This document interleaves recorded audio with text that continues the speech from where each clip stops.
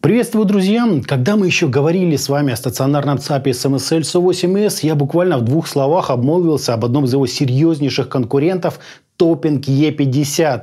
По начинке СЦАП строится на конвертере ESS ES9068AS с 32-битным USB-чипом XMOS XU216. А это означает ну, просто запредельное качество для PCM и DSD и полное декодирование MQA потока. Ну а в качестве бонуса здесь просто фантастического уровня дисплей, куча интересных настроек и выходы как на классической RCA паре, так и на балансной TRS, как у профессиональных аудиоинтерфейсов. В общем, аппарат просто огонь сегодня его подробненько и рассмотрим. Поехали! Пришел ЦАП в классической уже картонной коробке с логотипом пройденной HRS аудиосертификации и адресом официального сайта компании.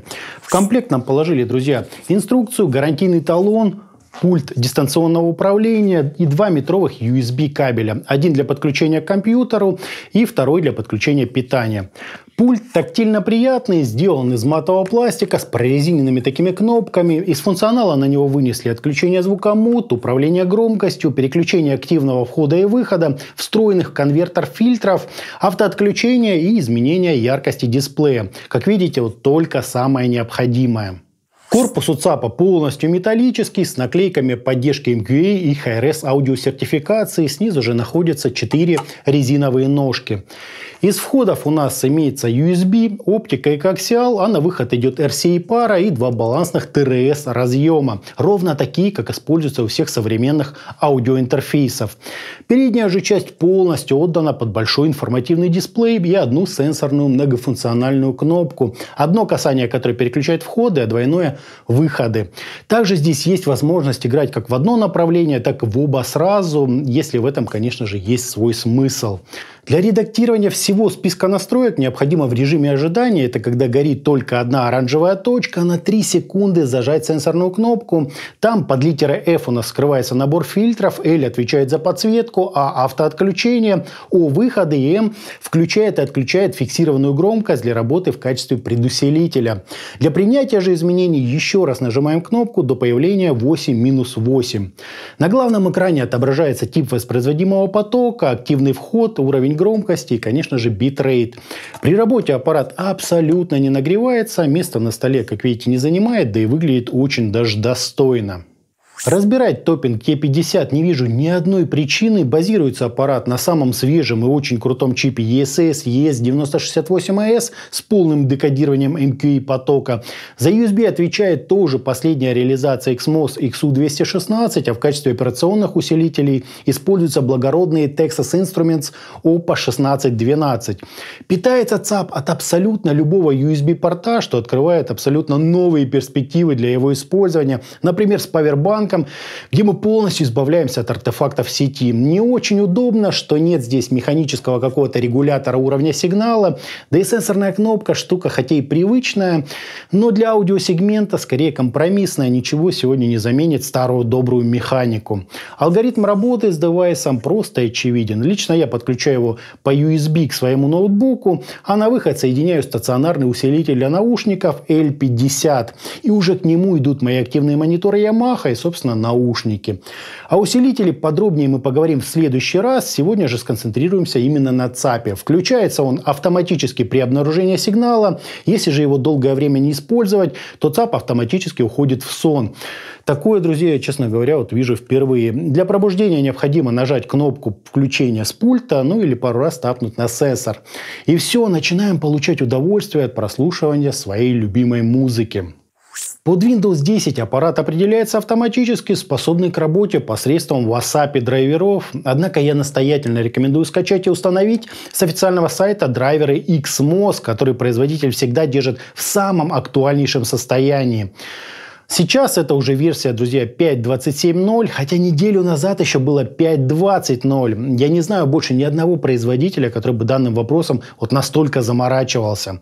Кроме того, драйверы позволяют использовать старые версии Windows, открывают нам настройки задержки и предоставляют к устройству полноценный ASIO интерфейс, а это, друзья, дорогого стоит. Из удивительного, на официальном сайте я нашел обновление прошивки для героя нашего обзора, после которой желательно сделать сброс на заводские настройки. Происходит это в режиме ожидания с пульта управления. Последовательно нажимаем громкость вниз, громкость вверх и отключение звука. В панели же Windows там доступно разрешение до 32 бит 384 кГц.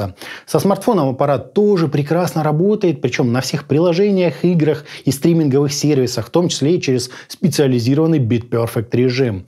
Все замеры тут, естественно, имеют оценку, друзья, отлично. Равнюхенькая кривая чеха. Какой-то просто запредельный уровень шума, прекрасный динамический диапазон и искажение ниже уровня минус 110 дБ, причем как гармонические, так и интермодуляционные. Небольшой разбаланс каналов я отношу либо к усилителю, либо к моим межблочным кабелям.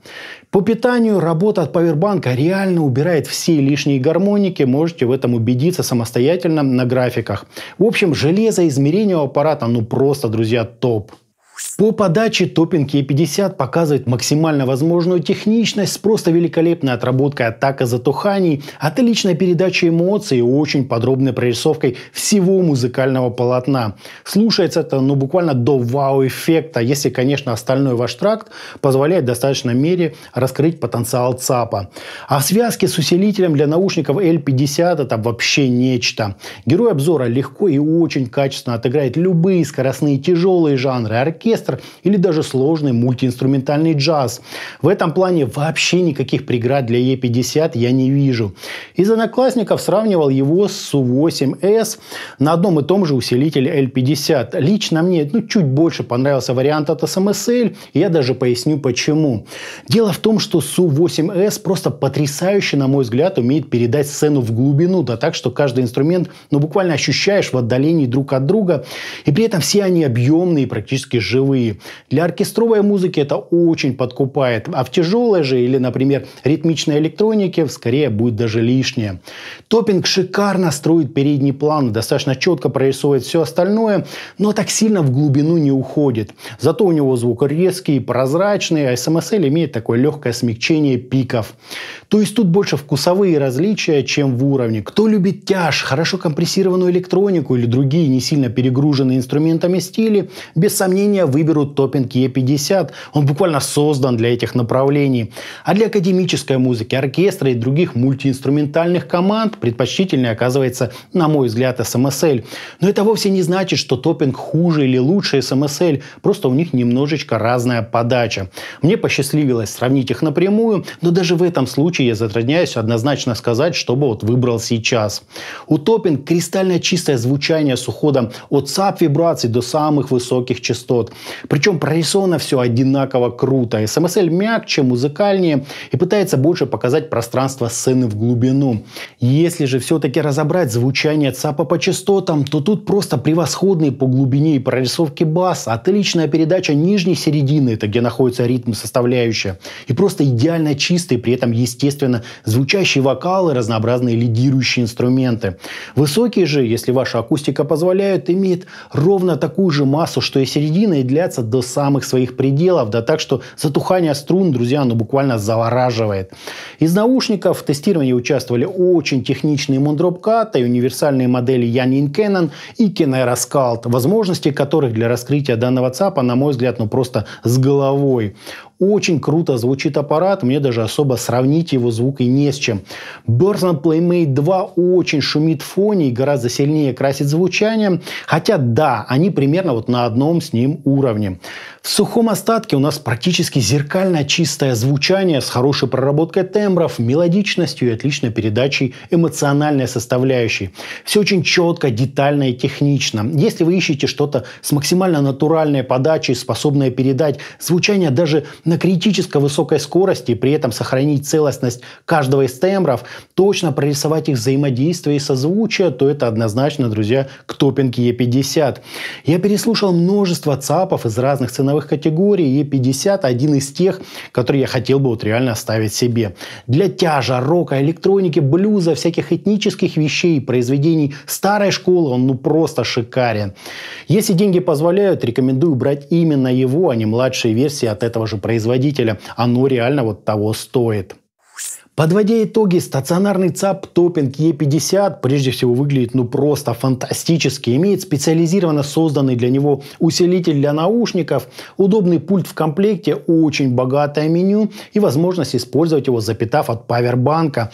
Например, для минимизации шумов и искажений или работы где-то вдалеке от розетки. Минусов ему, друзья, даже придумать не могу. Чтобы хоть что-то сказать, нет здесь Bluetooth и балансные выходы не на аудиофилских XLR, а на профессиональных TRS-коннекторах. А так все очень даже здорово. Аппарат умеет сам уходить в сон, да и замеры у него, ну просто, друзья, фантастические. По начинке имеем самое актуальное на сегодня железо с поддержкой PCM до 32 бит 768 кГц, DSD 512 и полное декодирование MQA. Да и звучит аппарат, как говорится, вот на все деньги. Чисто, глубоко, драйвово и при этом очень насыщенно, мелодично и эмоционально. Для скоростных жанров вот то, что доктор прописал, это реально аппарат, который купил и закрыл вопрос со звуком на долгие годы. Однозначно могу рекомендовать его, друзья, к приобретению. Мне данный девайс понравился ну просто безумно. Это был стационарный ЦАП Топинг E50. А на этом у меня все. Всем добра, всем пока-пока. Подписывайтесь на канал и оставляйте свои комментарии под данным роликом.